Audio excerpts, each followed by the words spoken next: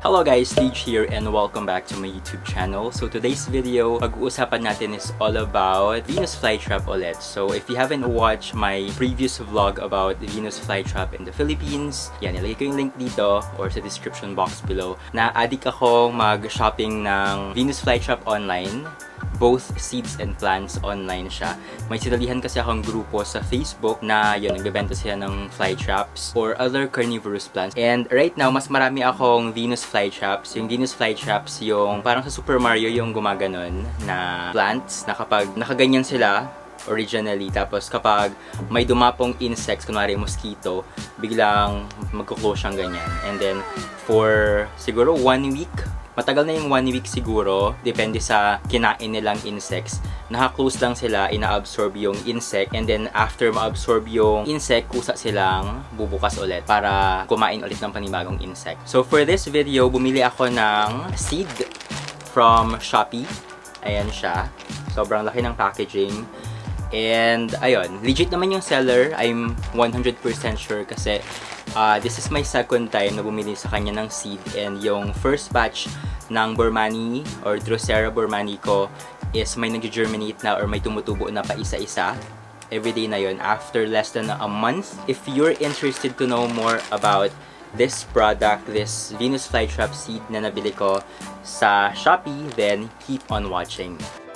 If bago kayo sa channel ko, make sure na subscribe na kayo. And don't forget to click the bell button para maging updated kayo every time na mag-upload ako ng videos like this. So I'm thinking of uploading a lot of uh, videos about Venus flytraps kasi nga medyo malaki yung nagagastos ko dito sa hobby na to and it's worth sharing sa social media ko. I'm pretty sure maraming nahihilig din sa mga plants and ayun, this is plant with a twist kasi nga ayun, Carnivorous plants sila, helpful especially if maraming insects sa lugar nyo, like mosquitoes or langaw.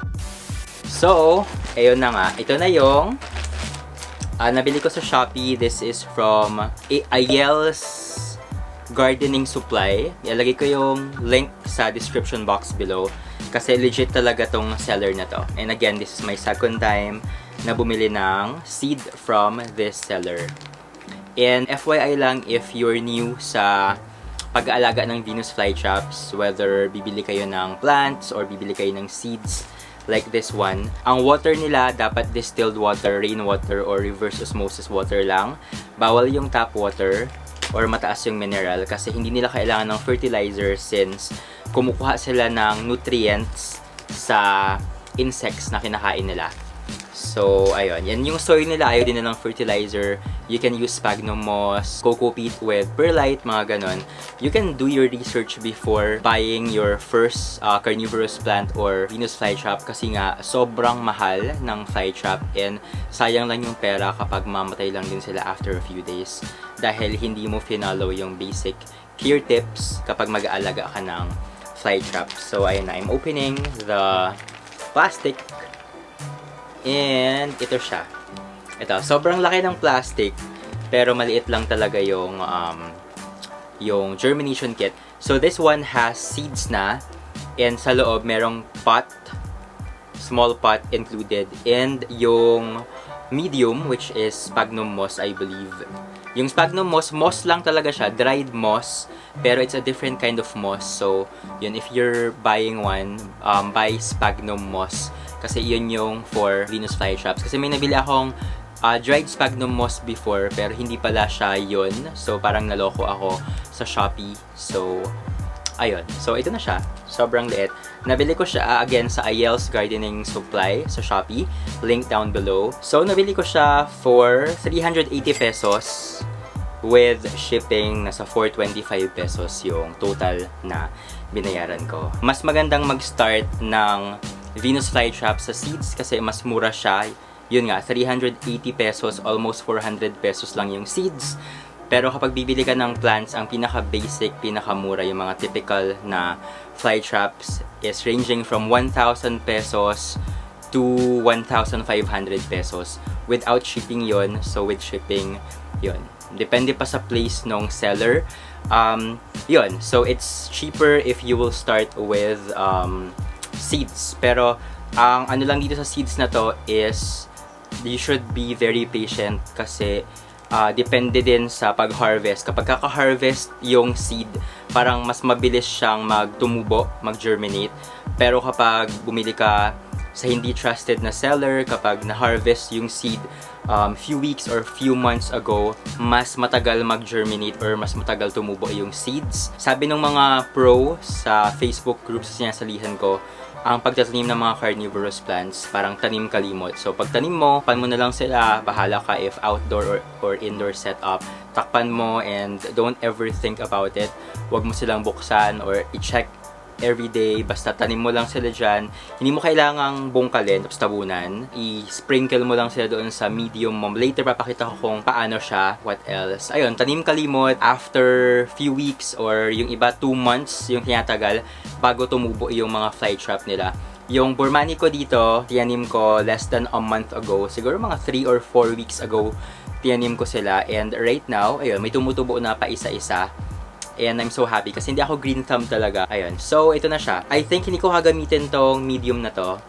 Kasi meron akong pot dito or yung siguro yung mga container na medyo malaki para mas malaki yung space nila to grow. Right now, ang gagawin ko na lang muna, uh, wait, bubuksan ko lang to. Papakita ko yung laman nito. I think may instruction naman dito. So, ayan, madali naman siyang sundan. So, ito na siya. Yan. And meron siyang pot, meron siyang sphagnum moss nga yung medium since bawal sila sa soil, yung ordinary soil. And it has this uh, instruction naman. Ayan, meron siyang sticker from Plants Collection Philippines. Ayan, established since 2019 sila nagbebenta ng ano. Ang cute.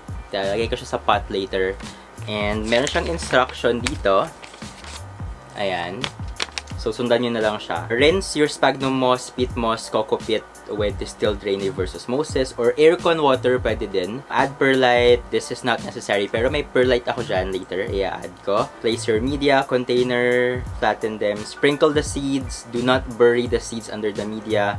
You can cover them with plastic ziplock to increase the humidity and help the seeds germinate faster. Place them in bright shaded area or grow lights if you have never put them in an area where direct sunlight if they have cover.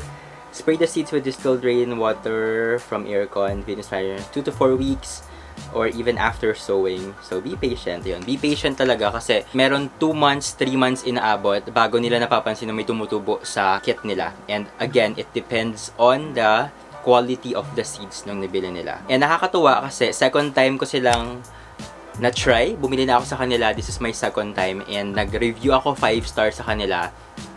Yun, sabi ko, tumubo na yung Burmani, yung ganyan, legit seller, 100% legit seller. Tapos, ayan, message ko sila, naghingi ako ng freebie. And, yun, merong freebie na binigay. Um, ito yung Venus Flytrap seed, ito. Tapos yung isa is capillary, something parang Burmani din ata to, I'm not really sure since I just started with this um, carnivorous plant as my hobby. Ayan. Ayan, if you can see, sobrang, sobrang, sobrang liit lang. Ayun. Kita nyo? Ayan. I'm not sure. Siguro mga sampung seeds yung andi dito. Ayan. And then, yung freebie is, um, sabi lang dito is the capillaries or capillaries. I'm not really sure how to pronounce it. Pero i-google ko, tapos ilalagay ko yung picture nila dito kapag na-edit ko. Kasi I'm not really familiar with how it looks like. Pero I think para din siyang Burmani. Ayan siya. ba diba? Super liit. And yung, yung Burmani ko, maliit din siya. Mas maliit pa dito. Ayan. So, the capillaries. Yan. Right now, ang gagawin ko na lang is, hugasan ko tong sphagnum moss. And I think this is not enough kasi dalawa yung ihatanim kong carnivorous plants. Uh, luckily, meron akong extra sphagnum moss dyan sa labas. And haluan ko sila ng perlite. Sabi nga optional lang yung perlite para lang makahinga sila yung, yung root kapag tumubo na sila. Mas madaling huminga. Hello guys! So, I'm back with so I'm back with the medium na gagamitin natin. Ito siya. Unfortunately, hindi ko nahanap yung mga yung stock ko ng sphagnum moss. Um, medyo matagal ko din silang hinugasan yung sphagnum moss ng uh, water namin dito sa bahay. Kasi uh, the first time na binasa ko yung water is nasa 100 plus yung ppm. Ito yung ginamit ko para sukatin yung ppm or yung level ng mineral sa water. For carnivorous plants, dapat less than 20 or 50 pwede, pero mas safe kapag less than 20 pababa.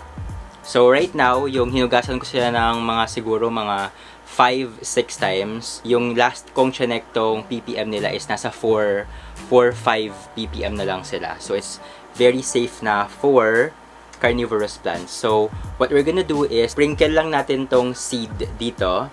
Make sure na hindi siya ganun kabasa, hindi siya ganun katuyo. Sakto lang. And later, lalagyan ko ng water tong itong bottom nito tapos ilalagay ko sila para may absorption pa rin ng water sa sa medium natin. Tapos tatakpan ko lang sila nung plastic. Tapos ilalagay ko sila sa grow light for 16 hours. So press lang natin yung ayan. Make sure na it's moist. Hindi ganun kabasa. Sakto lang. Ito yung capillaries. Sobrang liit niya. So, kakatakot pag matapon.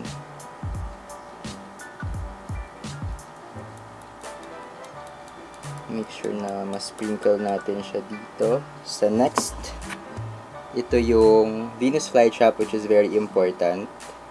Kasi ito talaga yung binili natin. Freebie lang talaga tong capillaries na to. Okay naman pala, kita naman siya. So, ito itatapon ko dito sa side.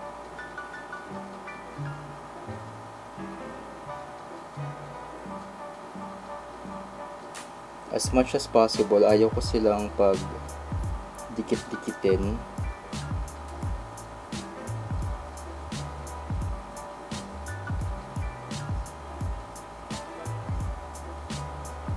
Yan. Ayun lang. So, sa mga 10 seats sila. Pero I think you can see sa camera, ayun, yung mga itim-itim na yan. Ayun yung seed. So, di ba mas malaki sila compared sa di capillaries. Pero yung Burmani talaga, sobrang parang dust lang nung tiyanin ko. Wait, tatakpan lang natin sila. I'll be right back. Ayan. So, pangtatakip ko ito. Ito yung pinatakip namin sa ulam. Ayan siya. Pero you can use yung ordinary plastic if wala kayo neto. Or, pwede din naman yung mga um, tawag dito yung nilalock. Pero kapag sa outdoor setup kayo, yung may expose sila sa sun, never nyong tatakpan kasi maluluto yung, yung seed. Gagawin nyo lang to kapag indoor yung setup nyo and you have grow lights.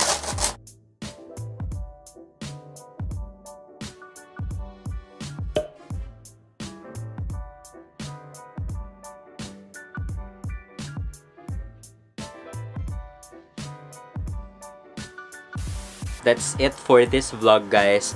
I already have two containers here. We have Venus flytrap and we have yung freebie from Ayel's Gardening and Supply from Shopee. Thank you so much sa pa-freebie na capillaries plant. I really appreciate it.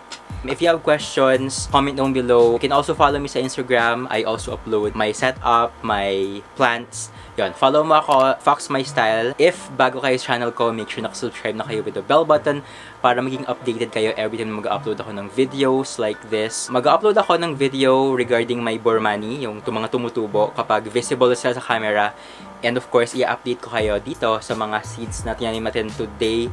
And ayun, thank you so much for watching my video guys. Till next time, bye-bye for now.